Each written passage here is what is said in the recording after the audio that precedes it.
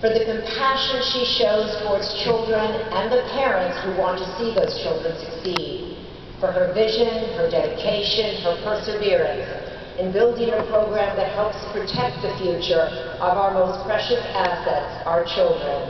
I am honored to name Agnes Stevens a 2009 Minerva winner. Please take a look at the video.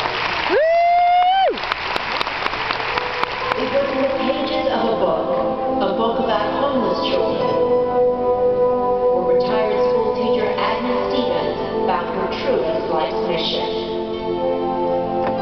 It just dawned on me, there are uh, hundreds and thousands of families out there that were homeless, and yet I didn't see them. So I made a promise that I would go find a homeless child and tutor them.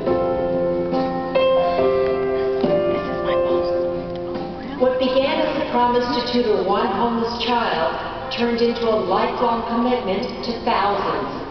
When Agnes Stevens retired from teaching, she started School on Wheels to reach out to homeless kids. Many times they weren't in school, they were living in a car or on the street or in different situations, and this all just came as a, as a huge shock to me. She knew there were thousands of them living in areas like Skid Row in downtown Los Angeles. She learned that for these most forgotten children, success at school was a near impossibility.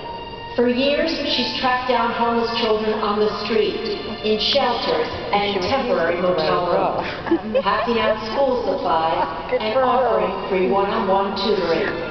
And she comes in